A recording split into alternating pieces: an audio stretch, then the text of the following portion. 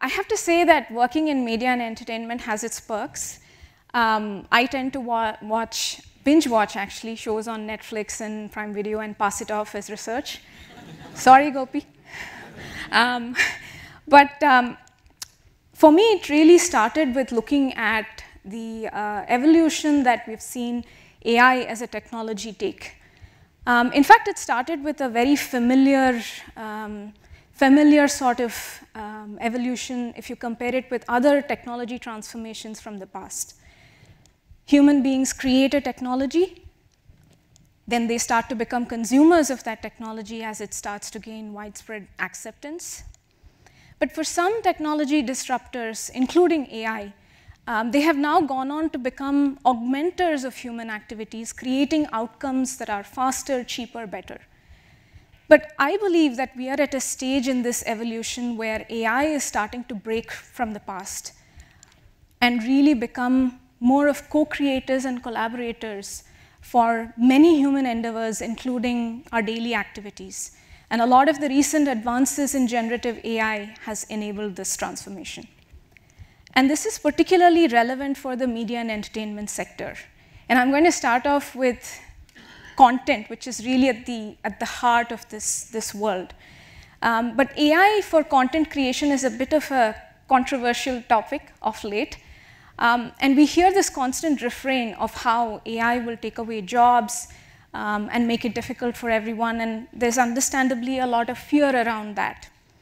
But I think there's less attention um, that's being paid to applications and use cases where AI can enable outcomes that would have previously been not possible due to constraints of time, cost, uh, and sometimes even human capabilities. Um, here is an example of um, an AI model that is able to transform content um, to make it suitable for global audiences. Now, one of the big challenges with dubbing in video is that there's a constant mismatch between the video and audio. These models learn from training data to produce new data with similar characteristics. L'IA générative, également appelée Genet, peut créer du texte, des images et d'autres médias grâce à des modèles génératifs. Ces modèles apprennent à partir de données d'entraînement pour produire de nouvelles données similaires. Generative künstliche Intelligenz, auch als GNI bekannt, kann Text, Bilder und andere Medien mit Hilfe generativer Modelle erstellen. Diese Modelle lernen aus Trainingsdaten, um neue Daten mit ähnlichen Eigenschaften zu generieren. Generative AI जिसे GenAI के नाम से भी जाना जाता है generative model का उपयोग करके टेक्स्ट चित्र और अन्य मीडिया बना सकता है ये मॉडल समान विशेषताओं वाले नए डेटा का उत्पादन करने के लिए प्रशिक्षण डेटा से सीखते हैं Now, there's a couple of different AI models that have been stacked together to generate these outputs.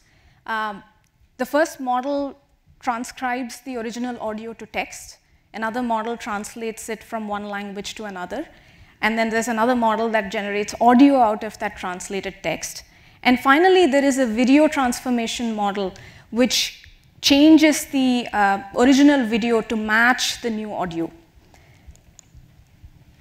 The space of content distribution has already seen tremendous changes in the last decade or so, particularly with the rise of digital distribution channels and video streaming.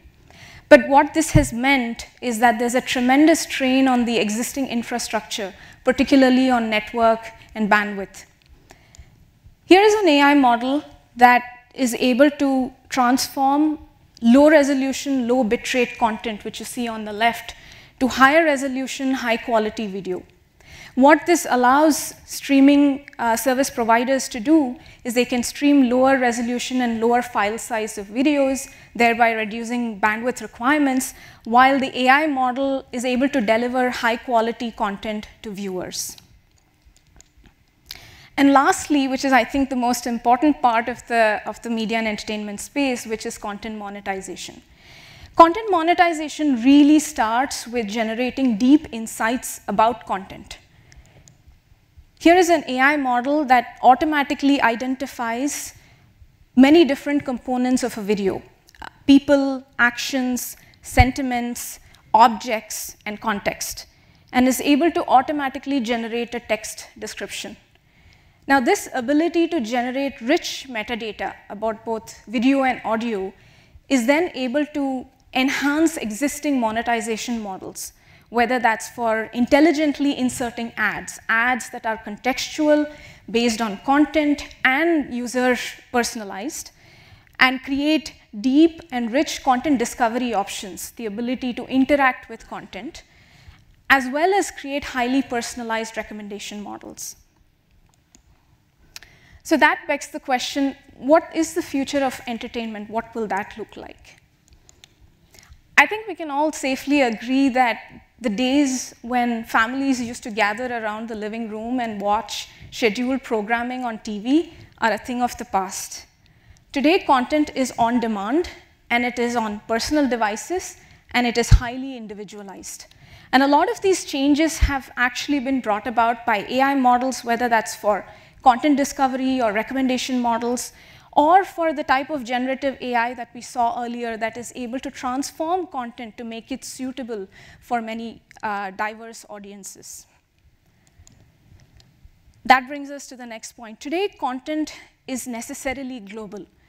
Um, and it's not just about globalizing content. There is a need to culturalize content, which means to take into account cultural nuances of different types of audiences in different parts of the world. And AI plays a critical role here as well, whether that's for tasks like transcribing, translation, and dubbing, which we saw earlier, or for transforming content in, content in very different ways, including for content moderation. And lastly, content today is not, content consumption is not passive. It's, there is an increasing demand for interactive and immersive entertainment. AI with the conjunction of different technologies such as AR and VR are able to create rich, incredibly realistic and immersive worlds, whether that's for gaming or CGI or for uh, animation content. Um, so in essence, this rapid transformation that we're seeing in the media and entertainment space is happening as we speak. And AI is at the heart and center of it. And I, for one, am excited and optimistic about the role that AI will play in continuing to reshape the space. Thank you.